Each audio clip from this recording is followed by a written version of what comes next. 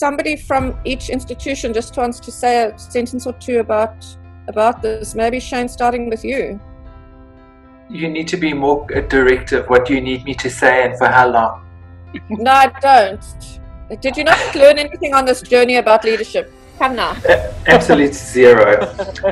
what I will say is that working with the two uh, partners that we do in GIBS and Henley, you guys have become friends to Standard Bank. Um, it has been the most wonderful, amazing, crazy journey. Uh, from module one, when I looked at Jill in the bus and I mouthed to her, "We're both going to get fired," to finding amazing stuff under her bed at the sleep out to wondering whether we're going to wake delegates up with stun grenades, um, to deep, amazing personal transformational stories that when we tell them, we still cry.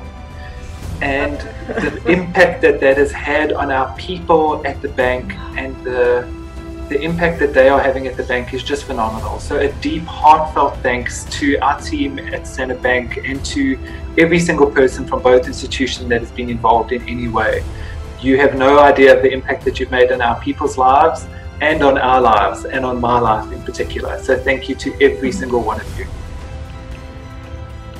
Um, I, I, just wanted to echo what Linda said at the beginning that Shane is the reason um, we're all on this call together. And what he did was, you know, learning sometimes comes because we choose, but sometimes it's because people push you out of your comfort zone. And when Shane chose to say, I'm having a vision and I see you two um, institutions being able to bring this to life. Um, I think that was um, a marvelous point, and, I, and I'm grateful that he chose um, Henley and us to be able to do that. Um, Jack talks about the importance of transformative learning and the fact that it's about reframing uh, point of reference and our paradigms, and I think that's what Shane wanted to do. And that he trusted us with that from that, that co-design process up until now is a gift in time. So thank you very much, Shane, for that. And thank you, Henley, for um, the collaborative work that, that has brought us to this place. I'd love to say something, and, and, Shane, thank you so much. I mean, for trusting in us and and uh, and all uh, my GIBS colleagues and friends. Thank you so much. And um, Nicola's a good friend as well. I sit on committees with her, and I'm absolutely delighted you were able to bring us together to work together. It was absolutely magic. It's exactly what we want to do.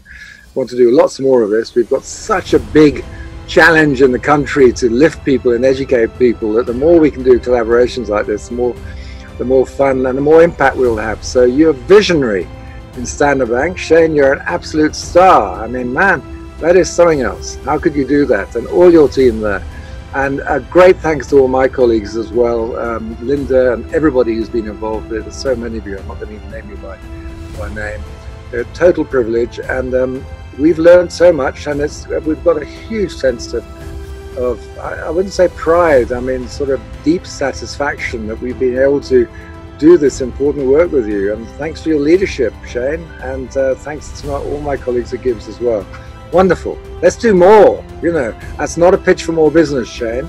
I'm just saying, let's do more of this stuff together. You know. Thank you. Absolute gift to all of us, and most particularly to the delegates, and with incredible faculty Milani, John Flismus, Charles Henderson, Nick Nadell, um, Mandy Labides did some, uh, Nikki Lowe with the horses, Lita Curry. I feel like I'm doing an Oscar speech. Who have I left out? so heavily on the logistics being seamless, yeah. on things just working in the background and getting the basics right. And the unsung heroes are the our heroes in the background, you know, that just make things happen, that ensure that, you know, if something goes wrong, the delegates don't know. And we, as I'm me, I'm going to speak me as a person. I'll let Teppo and his pink hat um, take accountability for the pressure he puts on people.